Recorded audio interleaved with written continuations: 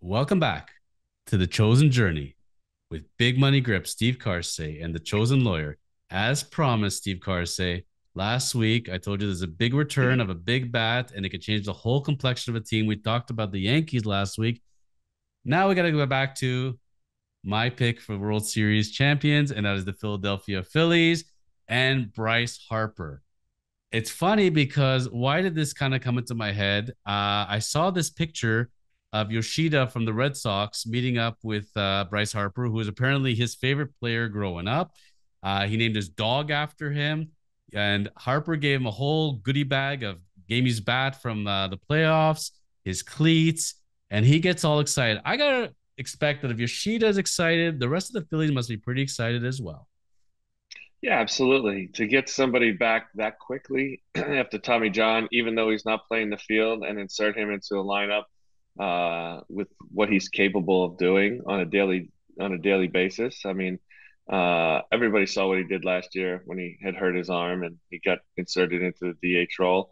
Uh, it's fortunate that baseball put the DH rule in, right, in the National League. Otherwise, Bryce Harper would not be playing at this point. He wouldn't have played last year, and he wouldn't have played now because of uh, the Tommy John and, and how his arm was hurt. But uh, you know, getting back to Bryce again, it's uplifting.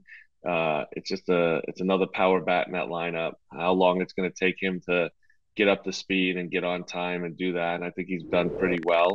Uh, he's a very talented player, and uh, you know, again, I just think that uh, it, it's one of those things when you insert a guy that comes back off an injury into a lineup and he can give you production, uh, it, it's going to make everybody better around him. Do you remember the position he was drafted as?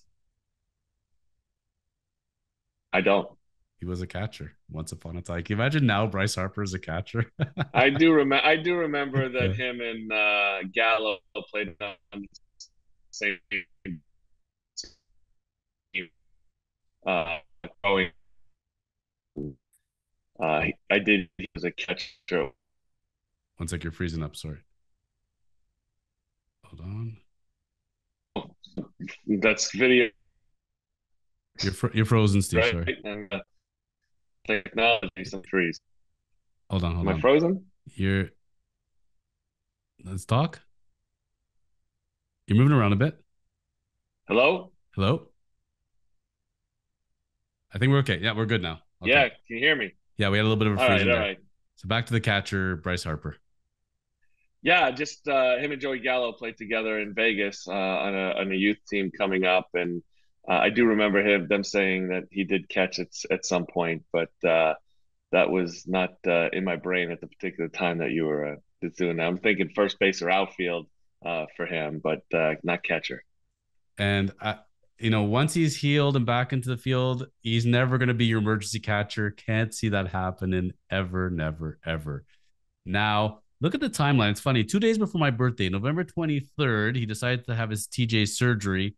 So, is, is this a bionic man, Steve? Like, am I reading these numbers right? So, it's supposed to be nine to 12 months time period, give or take, to come back. Now, I know he's not a pitcher and he's not going to be in the outfield, but six less than six months back like how is this humanly possible have we ever seen this like what is going on here yeah i mean it, it, there's a few other guys that have taken a little bit longer than what he has he's obviously the the fastest but again uh, you got to look at the at the circumstances right what position he plays where is he coming back to um, you know how much is he going to play? What is he capable of wearing on his arm? Because we see him playing with a, uh, you know, a brace on his arm, but he can swing the bat, and that's the one part of it. I think that's the main focus of him being able to get extension and and in that arm, and uh, you know, be able to swing the bat first.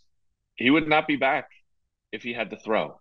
He still would be on the shelf because he's not able to play first base. He's not able to play the outfield and that's the difference with a pitcher. When they say it's a year, 10 months to a year, that's a pitcher for sure.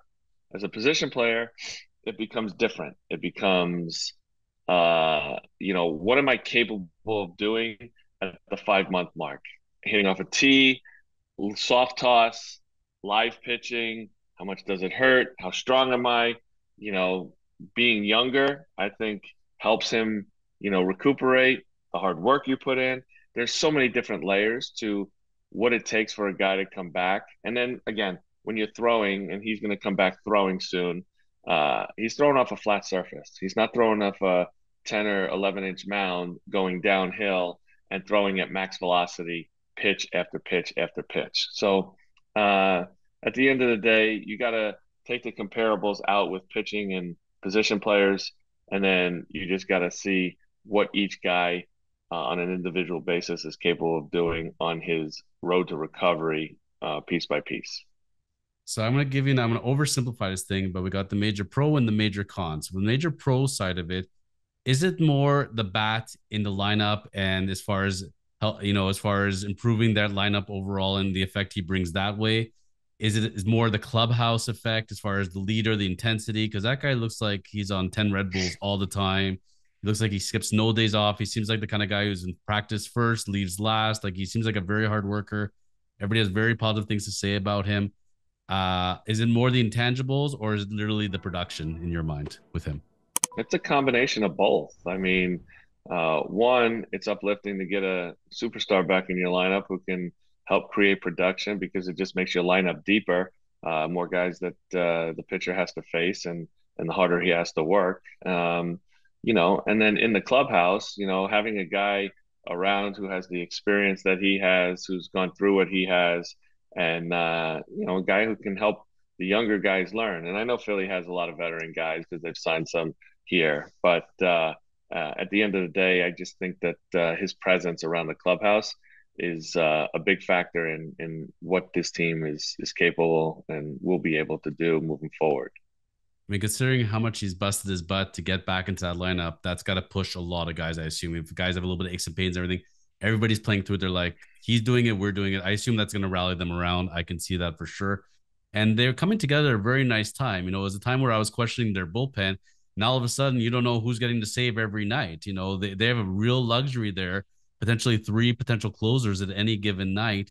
That's a good thing to have, especially when you don't know who your top five starters are going to be. So I think they're gelling together really well. I'm going to give you my con though, and not to take anything away from these guys because I love I love them overall as players. You know, Schwarber, like uh, watching him in WBC, watching last year's playoffs.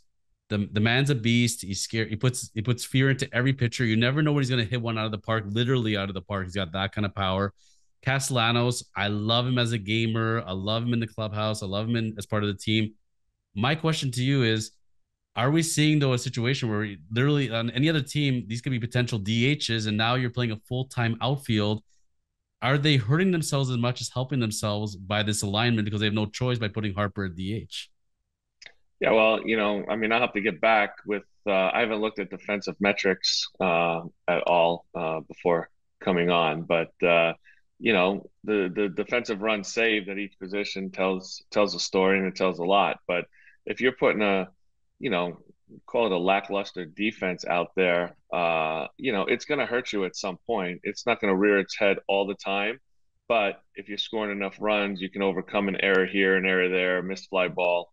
But if you're playing really tight games, then you know it'll probably show a little bit more. Uh, you know, these guys probably work hard on a daily basis, but you know, um, defense is, is a really hard thing in, in Major League Baseball. You know, you you got to work hard at it, and you got to be able to do that because if you cannot play defense, majority of times you might not get the playing time to play unless there's nobody else available. So, uh, you know, I would agree that defensively they may be a little bit below average. I would have to check the numbers on that, but uh, yeah, it's it plays a it plays a, a, huge factor into a course of a season of how many games you might win or lose uh, on the defensive side of the baseball game.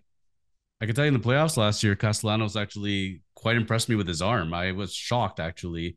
And uh, I think he had a chip on his shoulder with that. And that's not a bad thing. I think, I don't know, I can't tell you worked necessarily harder because he seems like he's a gamer, but uh, it's a guy who's not afraid to get his jersey dirty and, uh, and he's out there. So I think maybe that earned him the time.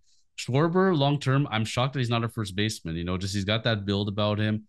Uh, and then when they had their injuries, you know, uh, with Hoskins out, I thought that he'd move over there. But uh, there's a reason why they pay Robbie Thomson the bucks to figure out those alignments and not me, right? Well, he was yeah, he was a catcher, right, in college. Uh, Schwarber. That's yes. what he got drafted as. uh, in, in, with the Cubs is as a catcher, and then they kind of started, you know, moving him around and putting him in different positions and, and seeing what he can do. So, uh, you know, baseball's a funny game like that. You get drafted as a certain position, and, you doing certain. Hold on, you're freezing again. Sorry. What teams look for when we look at the analytics. One sec. Oh, you back? There we go. Okay, yeah, it froze again. Yeah, sorry. I'm here. Yeah, you're here. Uh, yeah, yeah, yeah. Just it froze again on us. Yeah. No worries. Yeah, I was just saying that. uh yeah, I was just saying that uh, teams are, are are different like that these days. Is you'll draft a, a player as a certain at a certain position, and then ultimately when you get them in your system, uh, you'll kind of see some things and be like, well, maybe that's not the position that we see him in, and we'll start using him in a couple different other positions and see if that's going to work out because we love his bat. Well, if Phillies have an embarrassment of riches as far as the bats go, and if that bullpen is locked down as they seem, you know, maybe they got to get a, another starter at the deadline, but that's a scary team. And that the way we talked about the AL East last week, the NL East is not going away either. I don't think the Mets are going away. The Braves are definitely not going away. I think that's going to be a dogfight right until the end of September. Yeah, absolutely. Uh, I expected that in the NL East. I mean, things have been shaken up. You know, Scherzer suspension, Verlander being hurt, Mets kind of a little hot and cold. It's it's kind of strange to see them you know, lose whatever it was, nine out of the last eleven. They got uh, they swept by the Rockies, I believe, and I think they got swept by Detroit. So you know, again, maybe playing down to competition uh, is is a can be a key factor, but you know, Buck has a pretty good hold of what his team needs to do, and I think they're going to stick around, like you said. Felt like when the when Detroit was playing them, a few guys were auditioning potentially, especially Mr. Rodriguez. Wow, he has been lights out for those Tigers it's amazing, guys. That you know, sometimes you know, especially pitchers, middle relievers, spot starters, you know, and all of a sudden they just figure it out with the right team. Uh, playing in Comerica there, something has grown on him. It's amazing. The same way you brought up the other week about Joey Gallo and Mr. Uh, Sonny Gray. Maybe the the answer is just go over to the Twins. Everybody seems to play well when they play for Minnesota for some reason. Yeah, you know what's you know what's worked out for Rodriguez, the What's size that? of the ballpark it's a it's a huge factor when you got guys that can play defense behind you, and you got a uh, outfield and a ballpark that's really big. Some of those balls that you give up or that are caught are not in the gap or over the you know the green monster. I was gonna say Fenway's dimensions are just a little bit different than Comerica's. Yes, sir.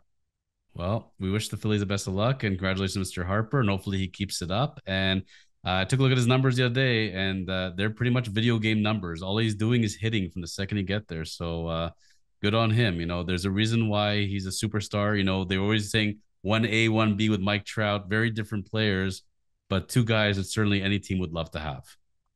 Yeah, absolutely. I think you can't go wrong with either one of those players, and uh, you know, the talent shines uh, no matter you know where they're at.